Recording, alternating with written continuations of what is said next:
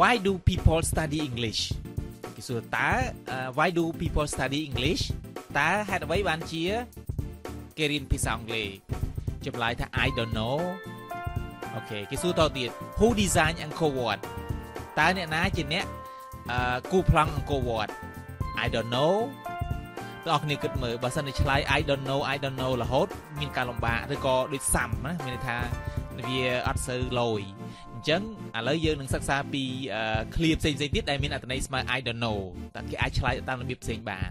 OK OK other way to say I don't know របៀបផ្សេងផ្សេងក្នុងការនិយាយថា I don't know OK ទីមួយគឺ I have no idea I have no idea បើថាខ្ញុំអត់មានគំនិតអីទេគឺអត់មានយល់ឃើញអីទេមិនថា I don't know OK មួយទៀត I have no clue ខ្ញុំអត់មានតម្រុយអីទេ នៅពេលដែលគេសួរយើងឬក៏គេឆ្ងល់អីមួយយើងឆ្លើយថាខ្ញុំអត់ដឹងដែរខ្ញុំអត់មានតម្រុយអីសោះនេះមិនដឹងអត់មានព័ត៌មានអីទេណាអញ្ចឹងថា I have no clue ឬក៏ I don't have clue clue នឹងវាតម្រុយឬក៏ព័ត៌មានឬក៏អីចឹងទៅណា I don't know I don't have clue I haven't I haven't focus idea I haven't focus idea មានន័យថាខ្ញុំ focus idea ហ្នឹងមកពី focus បើប្រែថាព្រិលព្រិលហ្នឹងមិនថាមិនច្បាស់ឬក៏ព្រិលព្រិលឬអត់សូវច្បាស់ណាគេថាខ្ញុំសំបីតែក៏មិនព័ត៌មានតិចតួចឬក៏ព័ត៌មានព្រិលព្រិលហ្នឹងគឺខ្ញុំអត់មានដែរអញ្ចឹងមិនថាខ្ញុំអត់ដឹងដែរអូខេ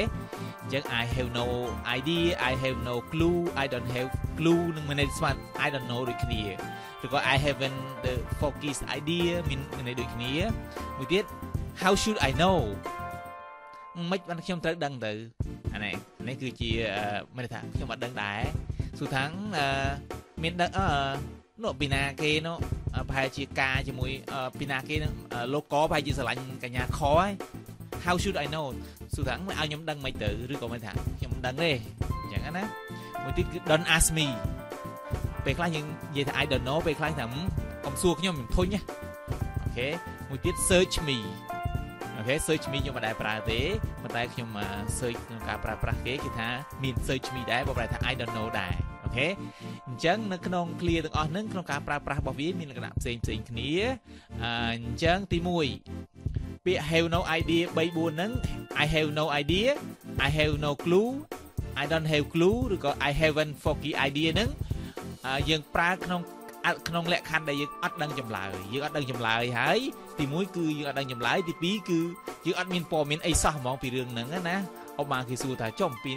អឺប្រទេសខ្មែរពីណាដាក់ឈ្មោះប្រទេសខ្មែរថាយើងអត់ដឹងដែរឬក៏អត់មានព័ត៌មានឬក៏អត់ដឹងដែរនៅពីណាគេដាក់អញ្ចឹងណាអឺអូខេហើយមួយទៀតគឺទោះបីយើងឆ្លើយព្រាវព្រាវក៏ឆ្លើយអត់កើតដែរព្រោះយើងអត់ដឹងអត់មានព័ត៌មានឬក៏ឆ្លើយទ្រុសទ្រុសអត់បានទេអញ្ចឹង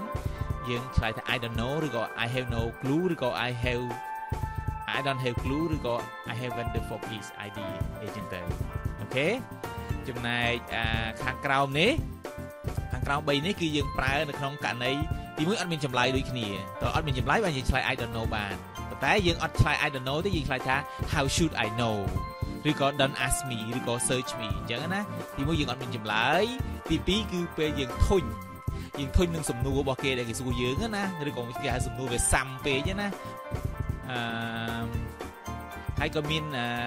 ឃ្លាផ្សេងផ្សេងទៀតដែរដែលមានន័យដូចគ្នាគឺ your your guess ដែលមានន័យស្មើ I don't know your guess is as good as mine guess បបប្រែថាអឺទស្សទាយឬក៏ការគិតណាការគិតការគិតរបស់ឯង is as good as mine ដូចអ្វីដែលខ្ញុំគិតដែរ ចង់និយាយចឹងណាមានន័យថាឯងអត់ដឹងខ្ញុំក៏អត់ដឹងដែរចឹងណាចឹង your guess is as good as mine អា mine របស់ខ្ញុំអញ្ចឹង your ជារបស់អ្នកអញ្ចឹងការគិតរបស់អ្នកដូចការគិតល្អដូចការគិតរបស់ខ្ញុំដែរមានន័យថាពេលគេសួរយើងគេអត់ដឹងទេមិនអញ្ចឹងហ៎អញ្ចឹងដល់ពេលគេឆ្លើយយើងឆ្លើយវិញថា your guess is as good as mine អឺខ្ញុំអត់ដឹងដូចតែអ្នកឯងដែរ OK OK it beats me it beats me នឹងក៏ជាអឺបបប្រែថា I don't know ដែរចាំខ្ញុំបញ្ជាក់តាមក្រោយ not far not as far as I know អឺក៏មានន័យថានឹង I don't know ដែរ who knows ក៏មានន័យថា I don't know ដែរអូខេអអញ្ចឹងខាងលើនេះបប your guess is as good as mine ថាអ្វីដែលឯងដឹងដូចអ្វីដែលខ្ញុំដឹងដែរអញ្ចឹងណាមិនថាឯងសួរខ្ញុំឲ្យខ្ញុំទៅសួរអ្នកណាអញ្ចឹងណា your guess is as good as mine uh it beat me it beats me it beats me នឹងបប្រើនៅពេលដែលយើងមិនយល់អំពីអ្វីមួយពេលដែលគេបញ្យល់អ្វីមួយមកយើងយើងអត់យល់យើងថាដល់អាមួយទៀត not a not as far as i know not as far as i know មានន័យថា I don't know ដែរអញ្ចឹងមានន័យថាខ្ញុំមិនដឹងដែរតែបើតាមខ្ញុំដឹងមិនអញ្ចឹងទេ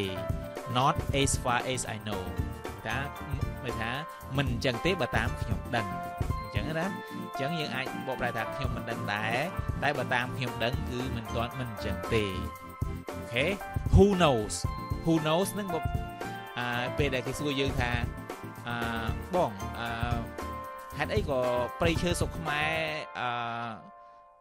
អឺឥឡូវគាត់ថាហេតុអីក៏ព្រៃឈើសុកខ្មែរចេះតែលីអលុតអាណាទៅដឹង who know អញ្ចឹងណា who know អញ្ចឹងណា who knows អូខេឥឡូវយើងមើលឧទាហរណ៍អឺបើបែរថាអ្នកណាទៅដឹងទៅគ្មានអ្នកណាដឹងទេអញ្ចឹងណា who knows អូខេឥឡូវឧទាហរណ៍ Do you know who uh, the price of the ticket to Canada Do you know the price of the ticket to Canada តើអ្នកដឹងអំពីតម្លៃសពតទៅកាណាដាទេទៅប្រទេសកាណាដាទេ អឺ Do you know the price of the ticket to Canada តើអ្នកដឹងអំពីតម្លៃទៅសពតទៅកាណាដាទេថា I have no idea ខ្ញុំអត់ដឹងទេអត់ដែលដឹងព័ត៌មាននឹងសោះឬក៏មិនដែលធ្លាប់ឮធ្លាប់អីអញ្ចឹងណាយើងថា I have no idea ចឹងថាខ្ញុំអត់ដឹងទេឬខ្ញុំនេះទេយើងថា I don't know ក៏បានដែរប៉ុន្តែគ្រាន់តែថាយើងអាចមានដល់សិនតែយើងនិយាយ I don't know រហូតវាសាំអញ្ចឹងយើងនិយាយថា I have no idea Do you know who own this company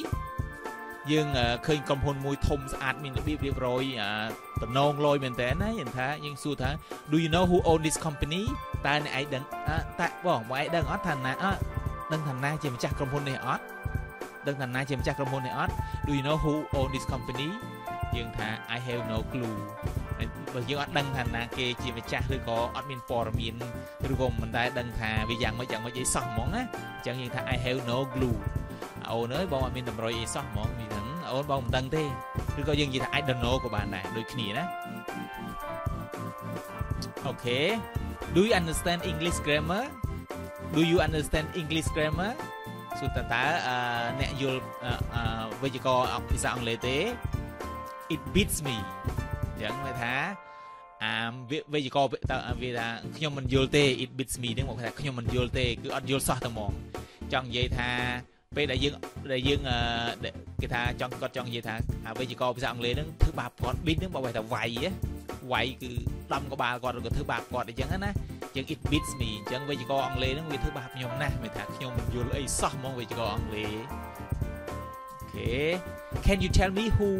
is girlfriend of Rexmay Can you tell me who is girlfriend of Rexmay ថាតើអ្នកអាចប្រាប់ខ្ញុំបានទេថាតើអ្នកណាជាសង្សាររបស់ Rexmay សួរអញ្ចឹងណាតើយើងធុញគេមកសួរសំណួរអញ្ចឹង How should I know ធ្វើម៉េចឲ្យខ្ញុំដឹងទៅឬក៏មិនឲ្យខ្ញុំត្រូវដឹងណា how should I know អញ្ចឹងមិនឲ្យខ្ញុំគួរតែដឹងហ៎ឬក៏ don't ask me ឬក៏មិនបាច់សួរខ្ញុំទេឬក៏កុំសួរខ្ញុំខ្ញុំមិនដឹងទេអូខេ អរគុណដែលបានសិក្សាមេរៀននេះជាមួយគ្នាសូមកុំភ្លេចជួយចុច Subscribe ដើម្បីទទួលបានមេរៀនជាច្រើនទៀត